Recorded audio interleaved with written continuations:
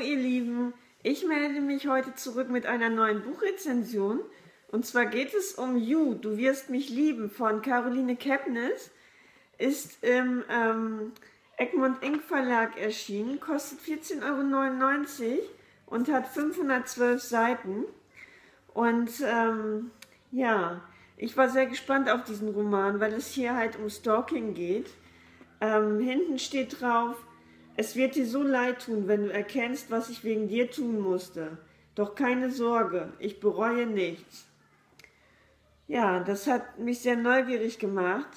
Also in diesem Buch geht es um, ich kann den Vornamen nicht aussprechen, um Genevre Beck. Wird in dem Buch aber nur Beck genannt und um Joe. Ähm, Beck betritt ähm, die Buchhandlung, in der Joe arbeitet und ähm, er ist wohl sofort von ihr hin und weg. Und ähm, sie kauft dort was und bezahlt mit Kreditkarte oder mit EC-Karte und er spioniert hinterher aus, wer sie ist, wo sie wohnt, verfolgt sie über Twitter und Facebook, weiß dann natürlich auch ganz schnell, wo sie wohnt und auch alles andere über ihr Leben. Und ähm, ja, er verfolgt sie halt und bringt sie dann in eine Situation, die für sie dann so aussieht, als wenn er ihr das Leben gerettet hat. Und ähm, dadurch bekommt er sie natürlich dazu, dass sie sich mal mit ihm trifft. Und so ganz unterschwellig nimmt er einfach einen Platz in ihrem Leben ein. Ähm, ich muss sagen, ich bin extrem schwer in das Buch reingekommen bin, es hat eigentlich das ganze Buch gedauert. Also es wird alles aus seiner Sicht erzählt. Also der Stalker erzählt das Buch. Das, ähm, ich finde, ein zweiter Erzählstrang wäre da nicht schlecht gewesen, weil er ist wirklich das ganze Buch über der Erzähler, was natürlich auch interessant ist, da man dann so ein bisschen von einem Stalker mitbekommt, wie er denkt, Allerdings muss ich sagen, der war wirklich krank. Also der war richtig krank. Und ähm, was mir da auch ein bisschen gestört hat, war einfach dieses, ähm, ah, jetzt komme ich natürlich nicht aufs Wort, ähm, die Sprache, die war mir einfach zu, ach, wie heißt das Wort denn jetzt? Nicht pervers, noch anders vielleicht komme ich gleich noch drauf. Ähm, das ah ja, obszön. Das war mir einfach alles zu obszön. Also selbst wenn eine Partnerschaft, wo Sexualität also für beide akzeptabel ist, so wie sie ist, kam er wirklich so richtig frauenfeindlich rüber. Also selbst wenn in einer Beziehung alles stimmt, wenn ein Mann so über die Frau spricht, da kann irgendwas nicht stimmen. Also das ist mir wirklich gegen den Strich gegangen, das fand ich nicht mehr schön. Und ähm, ja, das, ich muss sagen, ich bin eigentlich enttäuscht von dem Buch.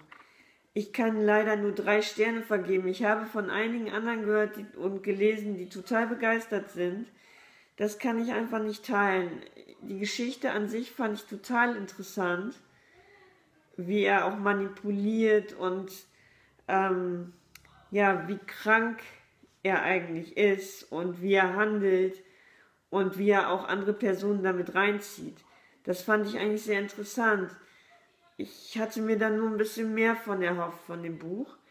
Ähm, ich habe sie aber auch nicht zu 100% in der Opferrolle gesehen, muss ich auch dazu sagen sie war mir auch als Protagonistin nicht wirklich sympathisch.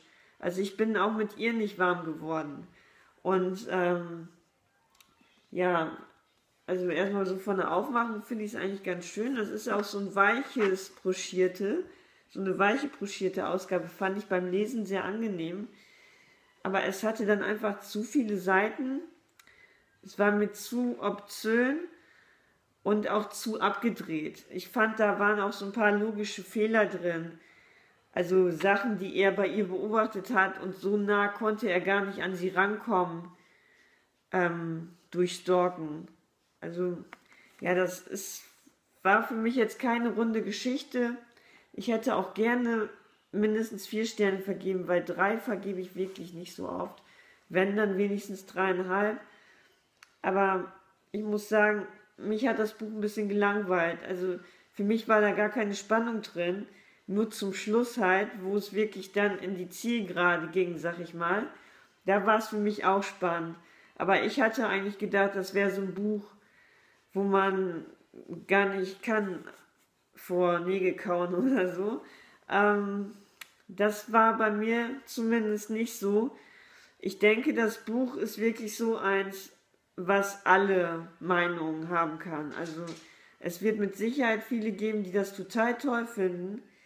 Ich gehöre da leider nicht zu, wollte aber trotzdem gerne eine Rezi machen, weil ich auch zum Beispiel mit ähm, Buddy Love Books äh, darüber geschrieben habe.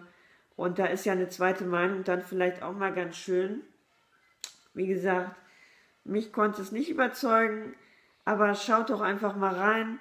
Es ist wahrscheinlich reine Geschmackssache auch, auch mit diesen obszönen, perversen. Vielleicht sehe ich das auch ein bisschen eng, aber meins war es halt nicht. Und das nimmt einem dann natürlich auch schon einen ganzen Teil der Begeisterung.